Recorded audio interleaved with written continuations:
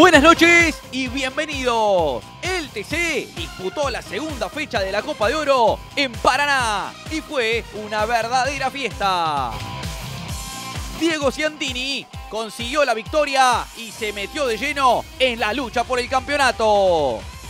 Santero, Ciantini y Werner son los tres candidatos. ¿Se le puede ganar a Santero? Contestalo vos. También hubo polémica. Todino y Ursera se sacaron chispas en la serie. Además, corrió el TC Pista con victoria de José Hernán Palazzo. No te muevas de la silla y ponete cómodo, que ya arranca el programa donde terminan las carreras. Esto es Última Vuelta.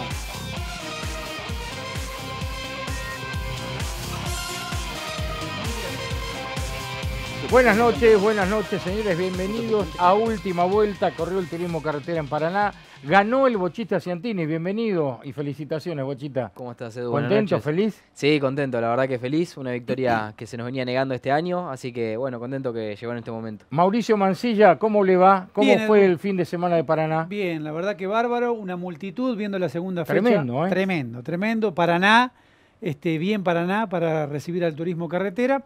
Un turismo carretera que le quedan tan solo tres fechas para terminar la etapa regular. Y recién de Fede en la apertura hacía la pregunta que nos hacemos todos.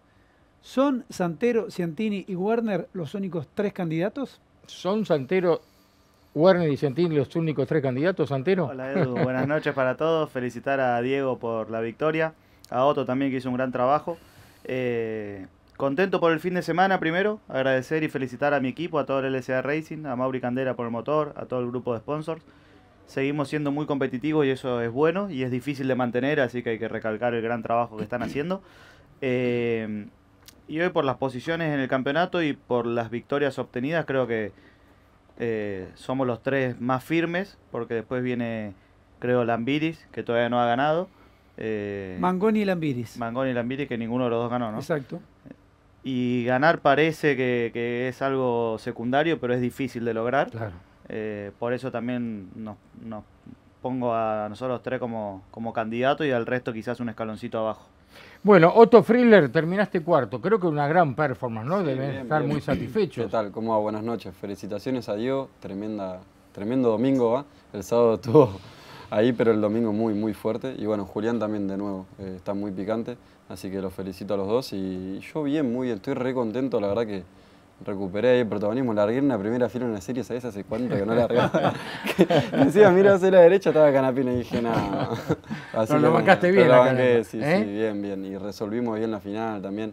Sumé puntos que era importante y recuperé confianza, así que contento. ¿Qué dirá Espataro, Mauri? Eh, el último Maicua, el último moicano, pero... ¿Cómo que si estuvo eso, tonto? bueno, bueno, bueno, sin agresión, por Pero no te vi, te Sin la- pelear. no te vi en los boxes. ¿Cómo se ve que vos te estuviste rascando? ¿Sabes lo que laburé yo? A pesar de que no se vio, laburé un montón. Complicado el fin de semana, re Qué complicado. bárbaro, sí.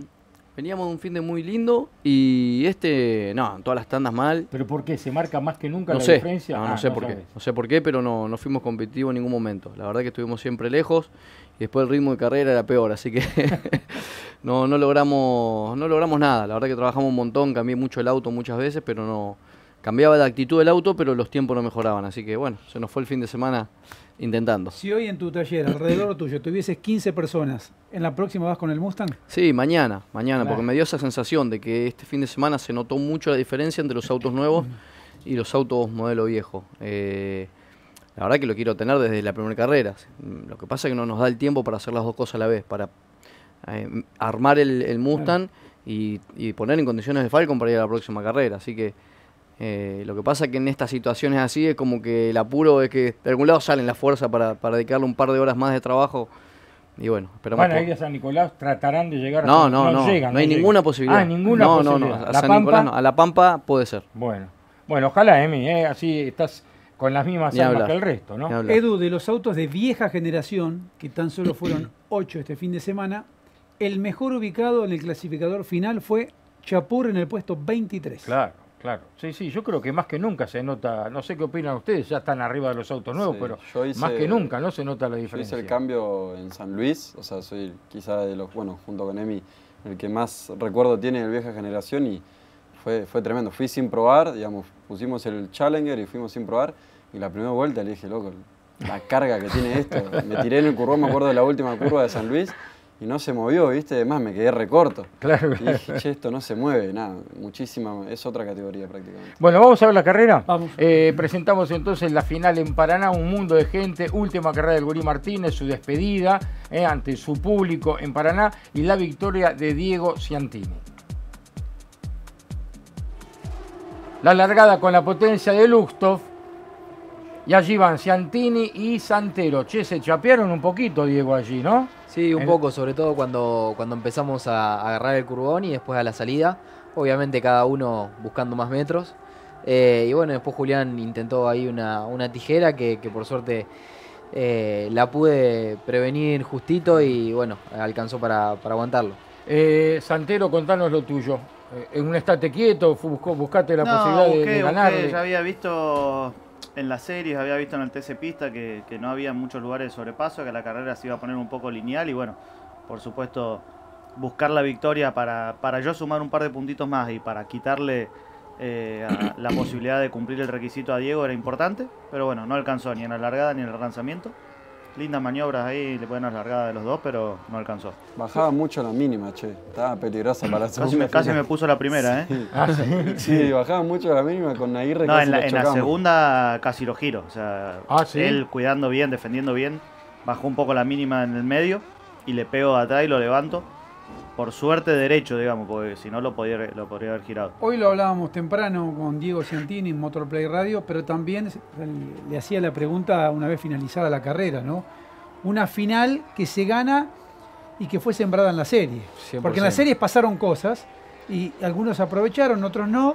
En tu caso sí te permitió la mejor posición de partida. Sí, sin duda, fue 100% sembrada ahí en la serie. Eh, pude aprovechar en, en la serie el, el aire limpio para poder ser rápido, hacer una, una serie rápida. Y después en la final, bueno, con un ritmo muy similar eh, con Julián. Sobre el final eh, parecería como que él o administró mejor la goma o tenía un poquito mejor eh, ritmo que yo y se me acercó. Pero es como que si él hubiese venido adelante hubiese sido muy similar la carrera. Si hay algo que nos gusta a los fierreros es la adrenalina y nada nos da tanta potencia y aceleración como Shelby Power, el combustible oficial de la ACTC. Probala y empezá vos también a disfrutar tu auto al 100. Eh, no sé, yo, yo confío en que ustedes siempre dicen la verdad, que los pilotos van a fondo todo el día, se bajaron incluso cansados, porque dio esa sensación, algunos se bajaron cansados. Ahora de afuera apareció una carrera de 1 al 10 que le ponemos 4.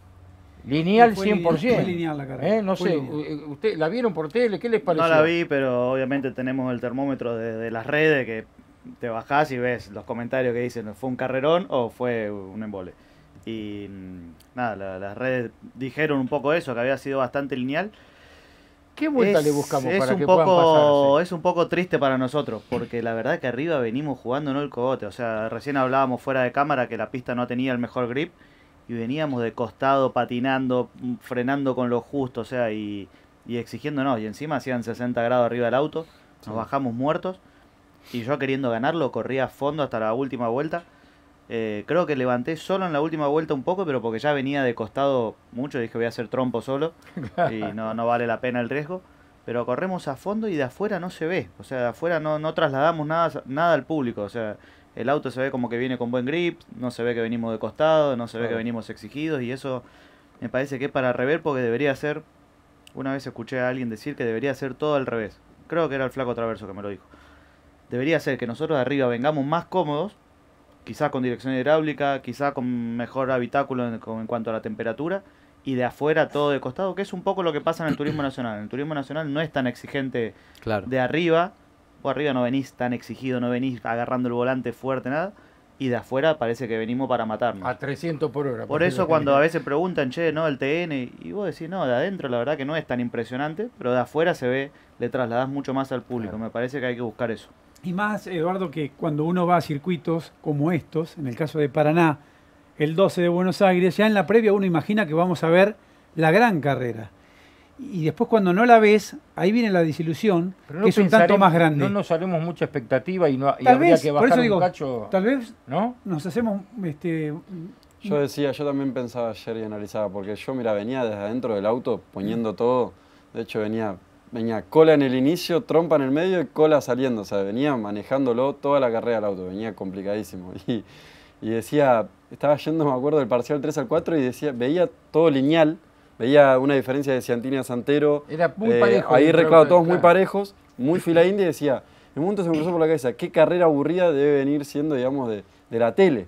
Y yo decía, loco, yo me vengo matando. Viste. Eh, entonces es complicado, qué sé yo. Eh, la hidráulica creo que, que daría como a, a que se pueda arriesgar un poco más, porque yo personalmente hay cosas que quizá me limito a hacer o, o- o, digamos, hay maniobras que dejo de hacer por el tema de que también, también los kilos es otra cosa, no, no puedes comparar directamente con un TN porque hay muchas cosas que cambian. Hoy, Pero la hidráulica es una de ellas. Hoy decías en Motorpro Radio, Diego, cuando hablábamos contigo, el tema que eh, en tu idea, carreras más largas, que haya una obligatoriedad, pero porque la, la circunstancia así lo exige de parar en los pits, en los boxes, este, bueno, como para que la cosa pueda ser un poco más incluso grata a la pelea que ustedes tienen en la pista, ¿no?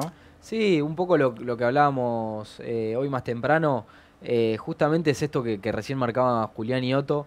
Nosotros venimos realmente rápido, eh, todo el tiempo colgados, y bueno, no es lo mismo hacer una maniobra a 120 que a 260 como andan hoy los turismos carretera, eh, con el peso que tienen, digamos, eh, es realmente difícil. Y bueno, nada, yo tiré esa idea porque son eh, ideas que quizás se pueden implementar sin, Vale. sin mucho costo y digamos eh, es cuestión de probar. Pero, pero como les decía hoy, es un problema que tiene el automovilismo mundial el sobrepaso. Eh, arriba de cada camión Mercedes-Benz avanza la innovación, la eficiencia y la seguridad, pero lo más importante es que avanzás vos. Mercedes-Benz, camiones de confianza, señores, presentamos cómo está el campeonato, cómo está la Copa de Oro Río Uruguay Seguros, con ya dos competencias disputadas y antes de ir a eh, La Pampa, San mejor dicho, San Nicolás, La Pampa y La Plata. 33 puntos y medio de Santero a Ciantini, 34 a Mariano Werner, 38 y medio a Mangoni que no ganó, 40 puntos y medio a Lambiris que tampoco ganó y 45 y medio a Valentina Aguirre que sí tiene la victoria, después aparece Neverlin que no. Y están entrando hoy con los tres de último minuto Todino, Landa y Nicolás Trocet. Bueno, ahí está. ¿Y cómo Pero- están los puntos esos tres? En la Copa de Oro. ¿Cómo entrarían? ¿Con qué puntaje? No, hoy no están tan mal, no están tan mal. Pero no sabes cómo están, ¿está bien? Sí, sí, No, estaban ahí, estaban. no, estaban. Posición bueno, 6 pero- dijo Berlín, creo. No, no, porque Siete estaba Todino. Porque, digo, Dejale, preguntamos a Captor, no te preocupes, le digo, preguntamos a Captor. Estarían porque eh, faltan do- dos fechas. Ahí Sí. están. Ahí, ahí Tal vez no el pueden estar. Siete, Ahí tenés, ocho y dos. Todino diez. de último minuto tiene 52, Landa último minuto 48 y teníamos Trocet de último minuto con 44. Obviamente lo que han sumado en estas dos carreras, ¿no es cierto? Bueno, ahí está, señores, la copa está abierta, más allá que hay tres nombres que comienzan a cortarse, pareciera que matemáticamente todavía tienen vida todos y hay que correr porque puede pasar cualquier cosa, ¿no? Julián, no hay que aflojarle ni un centímetro, ahora que estás ahí arriba, Que digo. hay que correr, no quedan dudas. Tengo que ir a, tengo Y a que ir muerte, digo. Tengo que ir a las tres que A quedan. todo nada. No, es una diferencia que, que parece mucho, pero ya lo hablé creo que en los programas anteriores. O sea, hay muchos puntos en juego todavía, más también pensando en la última fecha que es puntaje y medio.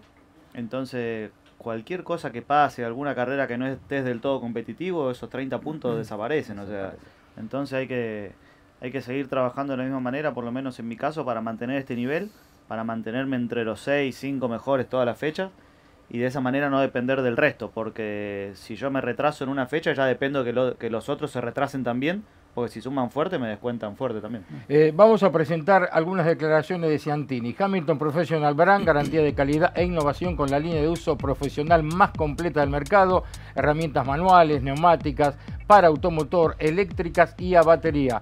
Hamilton, herramientas de campeones, declaraciones del Bochita Ciantini. Acá está Diego, hoy vamos a corroborar con él lo que ha dicho durante este fin de semana. Dale. En condiciones normales, ¿sentís que el Mustang está mejor parado que el Camaro?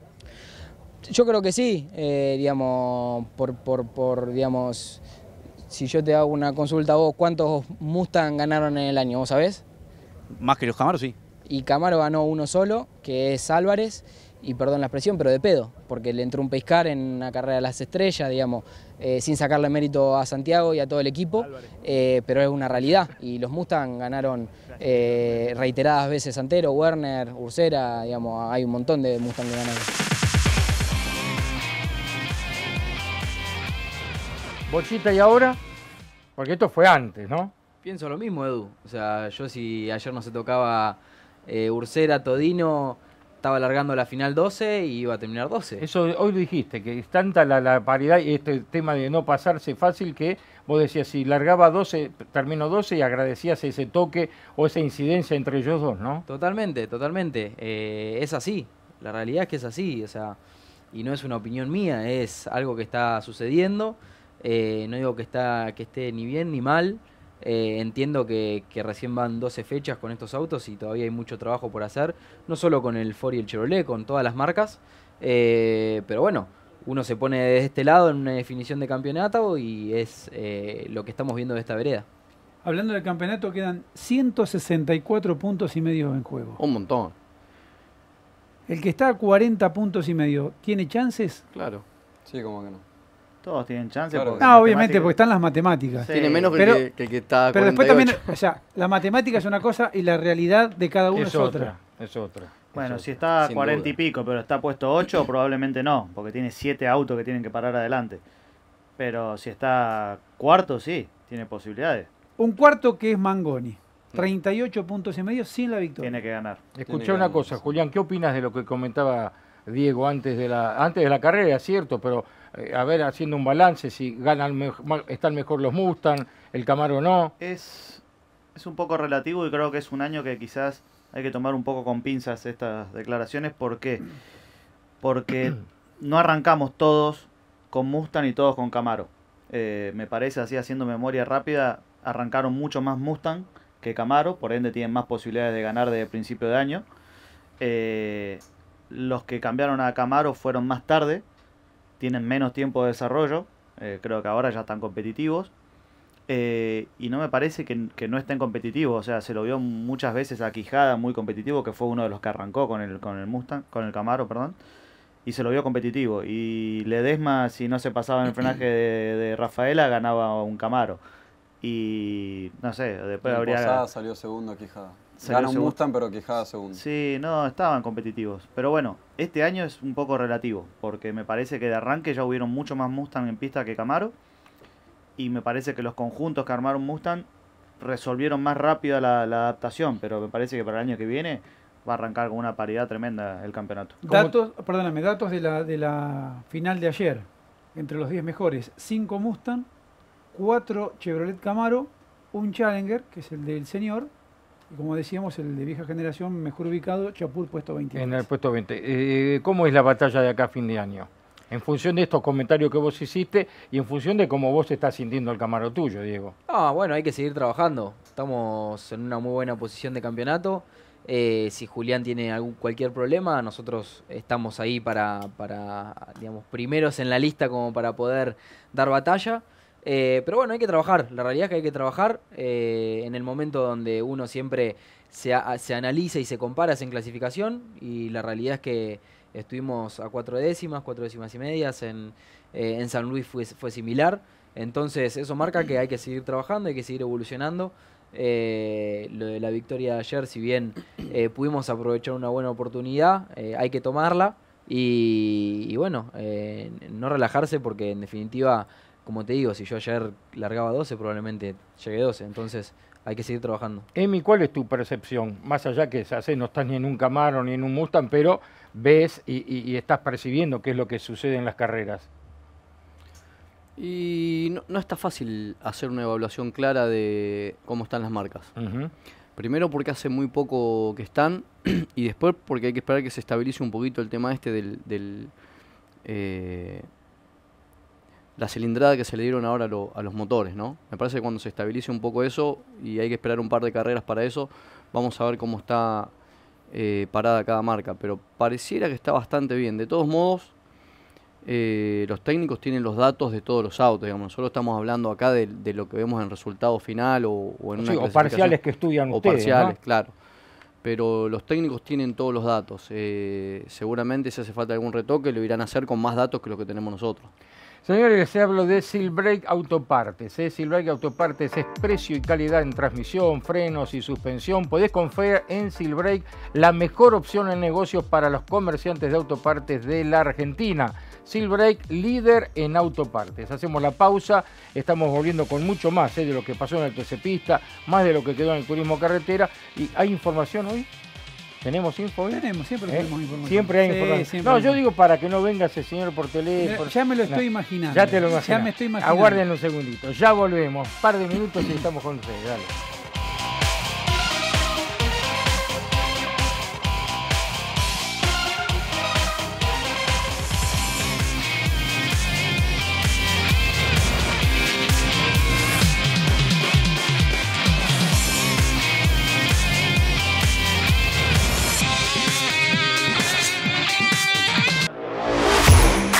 Silbrake Autopartes es precio y calidad en transmisión, frenos y suspensión. Silbrake, líder en autopartes. Dicen que lo único permanente es el cambio. Cambiamos las etapas, los caminos, pero hay un seguro que nadie te da, un seguro para cambiar. Entonces, mientras todo siga cambiando, seguimos con vos para no dejar de cambiar. Rus, seguros para cambiar. Descarga la app Puma Pris. Todos los miércoles tenés un 10% de descuento cargando Super, Max Premium e Ion Diesel. Puma Pris. Si lo usás, volvés.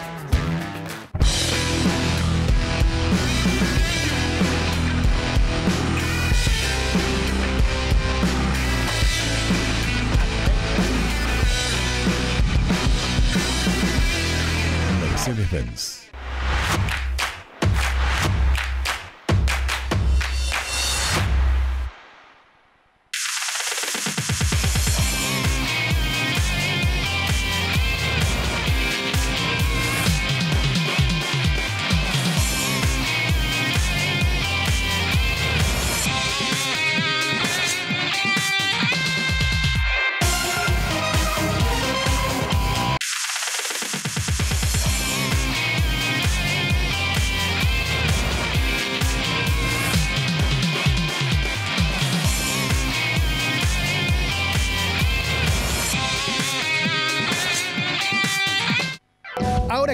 Sin remolque, ¿en quién vas a confiar? Auxilio24.com hace más de 10 años que te ofrece los planes más completos de asistencia para autos, motos y bicis en todo el país. Con tu suscripción mensual podés pedir grúa las veces que necesites en todo el país y sin límite de kilómetros. Asociate en auxilio24.com y disfruta del camino.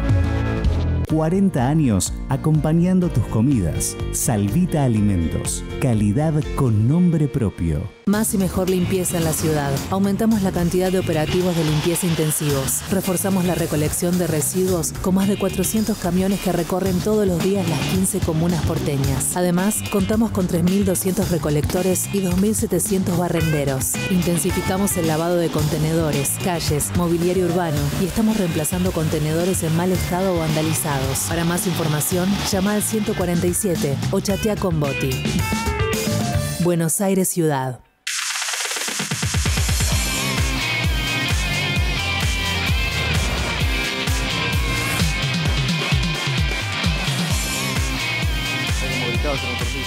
Bueno, señores, acá estamos en la continuidad del programa. Antes de meternos en más información, recordamos hoy 24 años del fallecimiento del loco Luis Di Palma, ¿eh? un ídolo pero tremendo, uno de los más grandes pilotos que tuvo la historia del automovilismo en la Argentina, así que el recuerdo para el loco Luis Di Palma. Nos metemos con la mejor maniobra, la maniobra con potencia Luxtov que tuvimos en Paraná este fin de semana. A ver cuál fue, dale. Luchtov presenta la maniobra del fin de semana. Diego Ciantini aprovechó el toque entre Germán Todino y José Manuel Ursera para saltar a la punta de la serie, ganarla y largar adelante la final del TC en Paraná.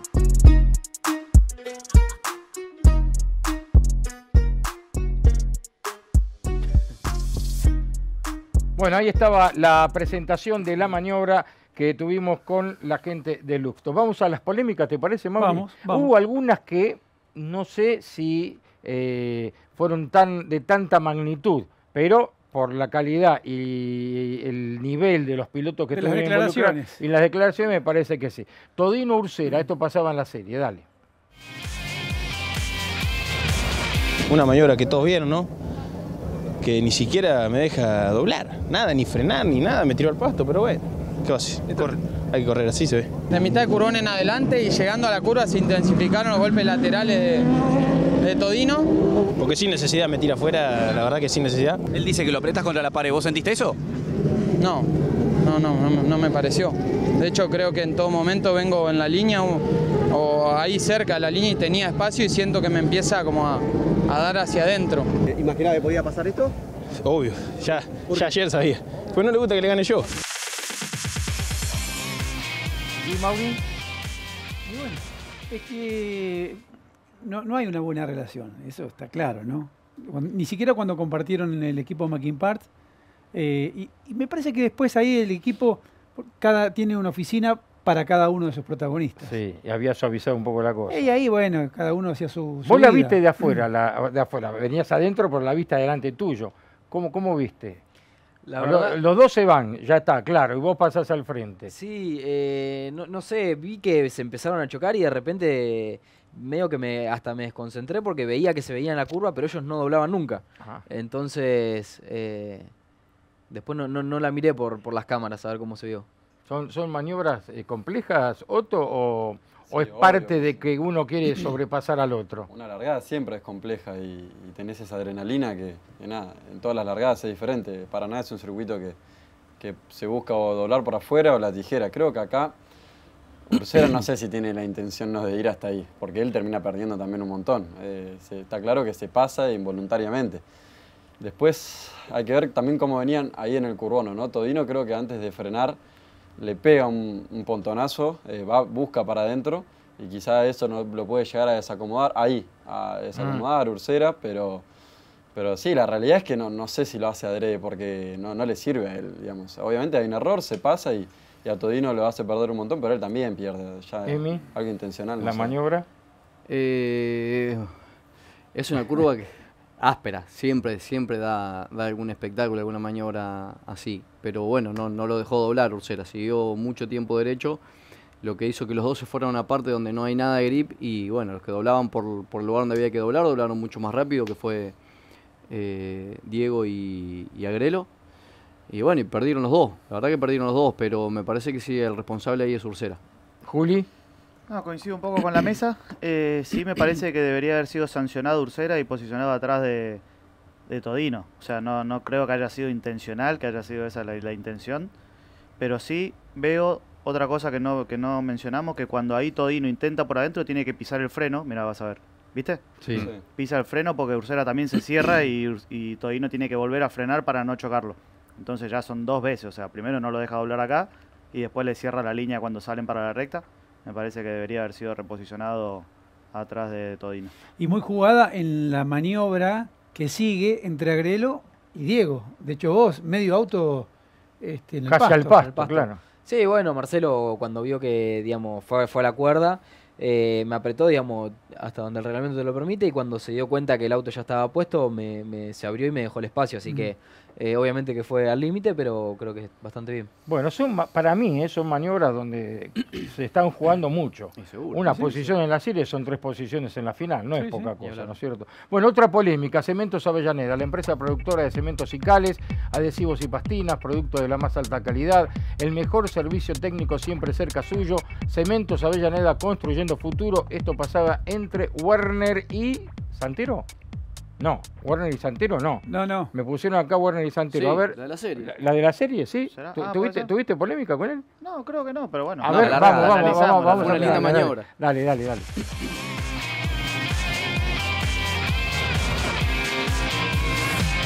Que frena un poquito antes y me, trato de tirar ¿no? la frenada. Siento un leve roce en el, en el medio cuando estamos ingresando la curva. No sé si eso ayudó para que me caiga fuera la cinta asfáltica o no. Obviamente de afuera se va a ver mejor, pero entiendo que, que Mariano estira el frenaje y viene sobre mi línea, intenta cerrarse adelante de mi auto. Ya lo ha hecho en otras ocasiones, en San Nicolás me acuerdo clarito que, que hizo la misma maniobra, se, se fue por afuera, se cierra sobre mi línea, nos tocamos igual que nos tocamos ahora, pero bueno, ese es el riesgo que, que quiere correr él eh, en el momento de la largada.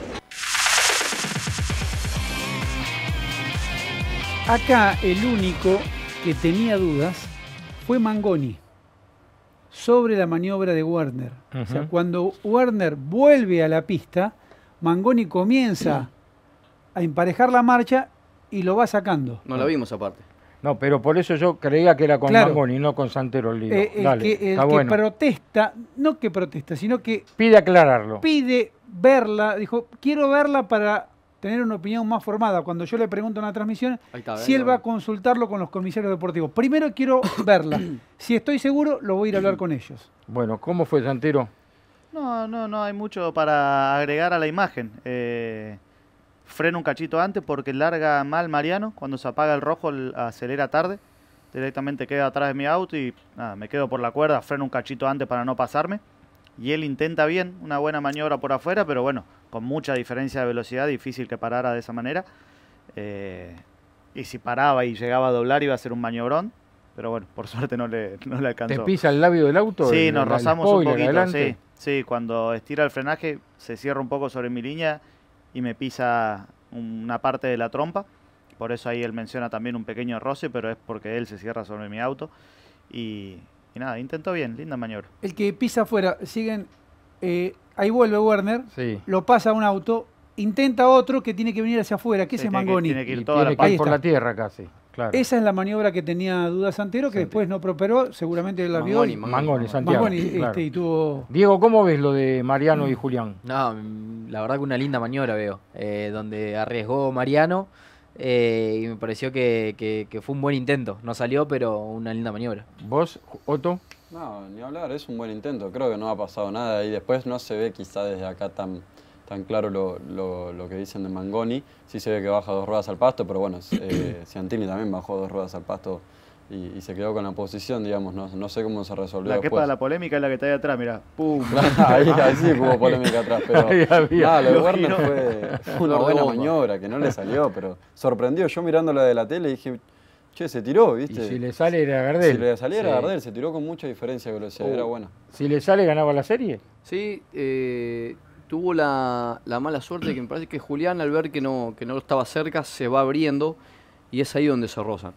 Si no se rozan, lo pasa. ¿Lo pasa? Sí, sí, porque se tiró muy fuerte, con mucha diferencia de velocidad y obviamente que cuando eh, ese pequeño roce hace que el auto se le ponga de costado y ya no, no para bien. Mm. Y por eso se pasa de largo. A mí me parece, a mí me parece, no sé qué dirán ustedes, que en este tema que es muy difícil sobrepasar, hay que jugarse en la largada. Lo hizo Werner con Julián, lo vemos a Ursera con Todino, me parece que son maniobras que, bueno, se intentan, si salen, salen, y si no, bueno, se pagará caro precio a que no hayan salido, me parece. Y ¿no? por eso, Eduardo, cuando vemos estas carreras lineales, ¿cuántas veces pedimos a grito? Festejan, Nosotros que estamos a- abajo, Pescar. pescar. Claro. Porque en Se más de una final, claro, este, han cambiado las cosas Es a verdad. raíz del ingreso de Es seguridad verdad. y por los relanzamientos. Es verdad.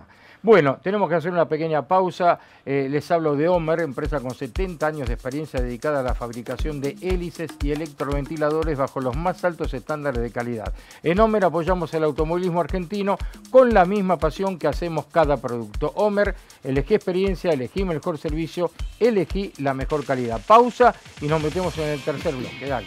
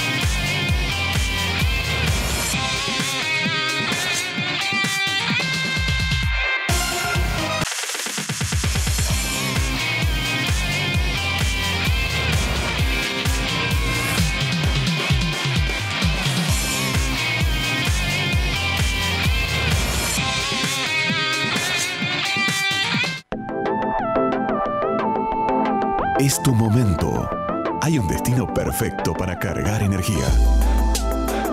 Termas de Río Hondo es vida.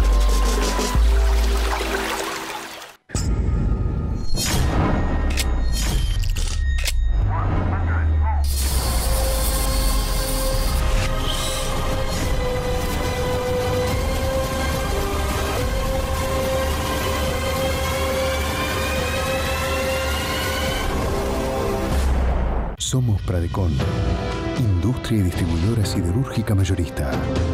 Fabricamos y distribuimos acero argentino de la mejor calidad para todo el país. Perfiles estructurales y para construcción en seco, corte, planchado y flejado de bobinas, chapa U45 y pilotes de hierro. En Pradecon le damos vida al acero. Silbrake Autopartes es precio y calidad en transmisión, frenos y suspensión. Silbrake, líder en autopartes.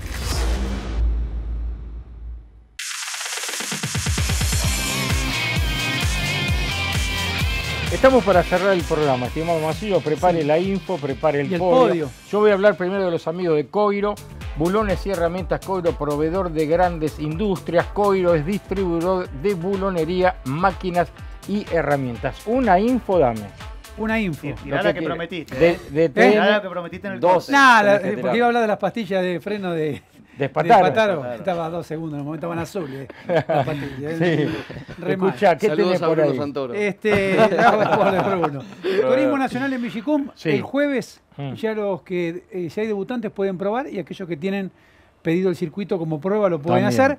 51 autos para la clase 2, 33 para la clase 3. Vuelve Arduzo al TN. Sí, con un cruz del equipo de Jorge Piedra, así que Arduzo. Lindo, eh, linda este incorporación. linda incorporación de Arduzo. Les hablo de la gente de Luxtos. Doy un amigo, un saludo enorme a la gente de Luxtos. Herramientas con potencia que nos acompañan acá en última vuelta. Ahora sí, el podio que presenta el señor Mancilla. A ver qué tenemos. Bueno, Mauri. sí, vamos, eh. vamos, vamos a arrancar con una linda alegría. Hay, hay dos noticias que están extra podio, ¿no? No sé, yo tengo tres, Ah, dos, tenés las tres, Yo va, tengo vamos tres, con las dos, tres, vamos con las tres. Fuerte Dale. aplauso para Franco Girolami, Ah, sí, campeón bien. europeo. Este, y esto decía, y es el puesto número 3. Somos campeones europeos nuevamente, la verdad que muy feliz, agradecido a Cupras, a Monlau, a todos los integrantes del equipo que han confiado en mí este año, este 2024. Realmente fue un año realmente difícil, con algunos errores, pero siempre nos levantamos, salimos adelante y siempre con, con honestidad, con humildad y con trabajo. Antes que nada, y al final a, mi familia, a mi mujer, a mi hijo, a toda mi familia por, por apoyarme y, y siempre estar a mi, a mi lado. Sin ellos sería imposible. Gracias a todos. Tres campeonatos en tres años, ¿eh? Europeo 22, Italiano 23, Europeo 24. Cómo Guarda, han ¿eh? ganado espacio los Girolami después tremendo. de un enorme trabajo en Muy Europa, bien. ambos, así que bueno, felicitaciones para Franco en este caso. Puesto número dos, hablando de declaraciones que hubo muchas este fin de semana, fundamentalmente sobre el tema de lo que ha pasado en San Luis. Nuestro compañero Fede Copari habló con Ursera y también con Fabián Justosi y este es el puesto 2. A ver, hay una realidad, si la persona que tiene que medir quizás uno no confía, tiene que armarse de un poquito de... o tener recursos para, bueno, que la medición sea realmente lo que uno necesita que sea. A ver, tenemos que entender que tenemos un departamento técnico y está para eso. Y si no tenemos confianza en el departamento técnico, hacer una revisación cruzada no tiene sentido porque sería desconfiar de ellos y para eso están, si no, no estarían. ¿Estás conforme con la revisión que se hizo en San Luis? No. Muy bien. Este, declaraciones de Ursera sí, no hubo. y de Fabián Justosi. Y vamos a pasar al. Está como caliente el tema todavía, ¿no? Sí, ¿Técnico? sí, sí, ¿Eh? ¿Qué decías vos, Juli? No, no, no sé. O sea, me sorprende que Manu no esté conforme con la revisión si no, no tuvo revisión, se llevó el auto. bueno, Bueno, y acá está la- y acá está el problema y por eso viene la apelación de Ursera. Mm. Ursera no está de acuerdo con que lo sancionen a él como piloto. Obviamente que yo no sé, pero que ahora la interna en el equipo debe estar un tanto movediza porque fue muy clarito en una nota que le hicimos. Dijo, mi equipo es y nombró a las personas que lo rodean. Nosotros trabajamos equipo personal. Exactamente, presupuestariamente para alquilar el servicio de un equipo.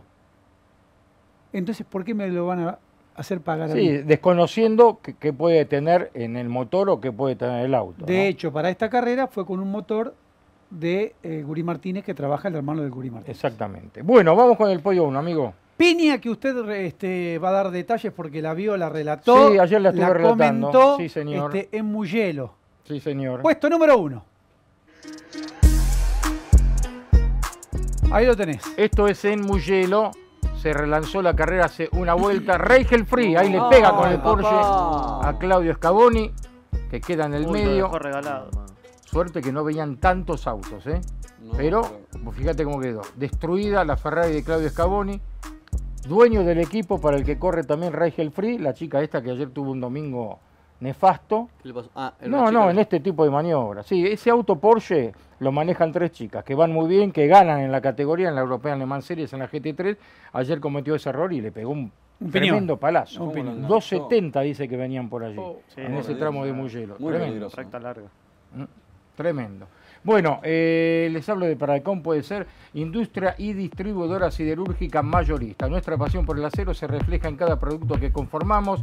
Visita paradecom.com.ar y descubrí cómo podemos ser tu socio confiable en el mundo de la construcción. Pradecom, le damos vida al acero. Tendría que sonar el Sí, teléfono. pero antes digo algo. Atención Benito Juárez. Atención Balcarce. Vas para allá. Atención Necochea. Atención Lobería. La Copa de Oro va a estar recorriendo las calles de cada una de las ciudades que nombré. Vas a comerte unos asados que... Miércoles y jueves.